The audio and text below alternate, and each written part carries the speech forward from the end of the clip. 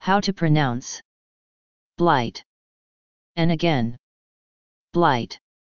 Congratulations, I have many more videos.